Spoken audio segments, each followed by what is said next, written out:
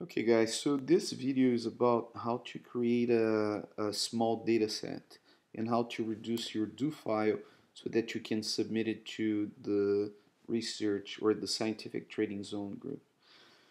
So now I have like you know the entire file from Matthias uh, using this as an example. So I have the data set here and here I have the do file. So I'm going to start by double clicking the data file uh, and trying to open in uh, Stata. First thing that I get here is uh, it's just saying that the memory is uh, it's beyond the memory. What I'm going to do is I'm going to check how big this file is. So it's about 29.6 uh, megabytes. Closing this. And so I'm going to set the memory for uh, Stata to be, I don't know, I'm, I'm going to give it some more memory. I'm going to say 50 megabytes. Okay and then I'm going to try to open the data set again. And here we go. So I got I got I got the entire data set. Now I'm going to open the script. So I basically do I'm on a Mac so command O for open and then go to the do file and um, open it.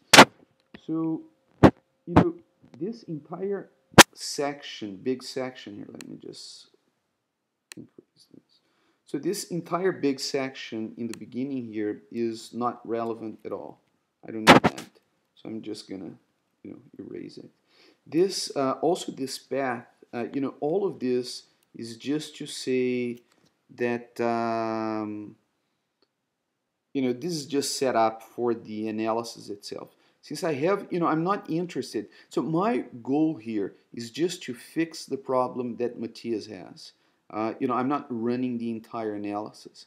So what I am going to do is I know that, you know, the things that are of real interest to Matthias start in this line here. So the trend test comparing uh, uh, against primary. And what I'm going to do here is just to put, you know, a bunch of letters uh, so that, you know, the, the, the script will generate an error uh, whenever it gets to this point. And I'm going to save.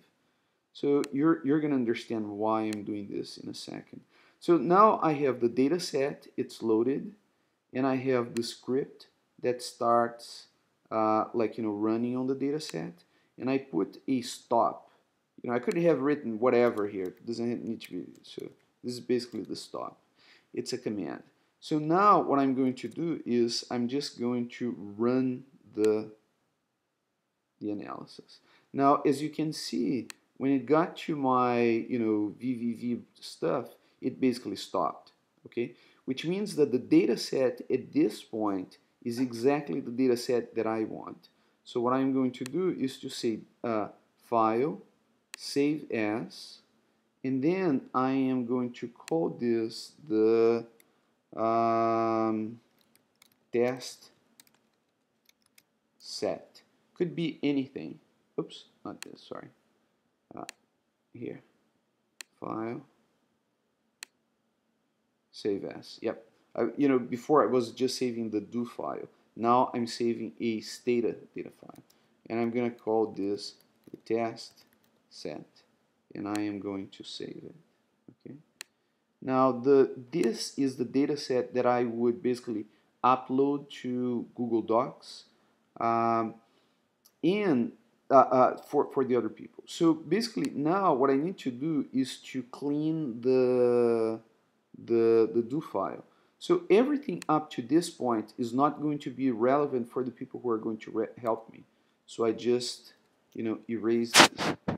Everything after here, so basically, you know, here he's starting for some reason, uh, you know, he's uploading the data again and doing all the things exactly why, but this is not relevant for this analysis. So now, um, you know, what I have here is, and I'm going to save as, save as, and as you can see here, now I'm saving the do file, which is the script, and I'm going to call this the test script, save. Okay. So now, uh, these are the two original files. This is the test data set. This is the test script. And now with this information, I can basically just um, you know send these two pieces uh, to, uh, to the uh, scientific trading zone, usually I would attach the script and I, you know, if the file is too big, I would, um, uh, I would uh, create a subset of the data. Now, another thing that you could do to simplify things even further would be, let's say that, uh, you know, for the models, the only thing I need is total uh, reoperation, I need year, uh, and I need all of these variables. Basically what I could do is uh, to come here and you know select the variables that I don't need. So for example, I'm not using ID, I'm not using, uh, well I am using LOS. Uh, so select all the ones that you are not uh, using and basically I select them by clicking on command and uh, then the variables and then I right click and I drop the selected variables okay now if I were to do this right now so I'm, I'm just gonna do this with one variable okay so just erase this. So let's say I don't want I ID the ID variable okay? So basically just click here. Uh, then I just right click and I say drop ID are you sure you want to drop them? I say yes. Once I have dropped all the variables and I have kept only the variables that are necessary, okay, um, then I can save the data set again and only send the, the, the variables that are, are, of interest. This will create a smaller data set that you can attach. So basically then, you know, if I had a smaller data set, I would just select these two, right click, uh, in the Macintosh, you basically do compress two items. Uh, in a Windows, you would say something like zip.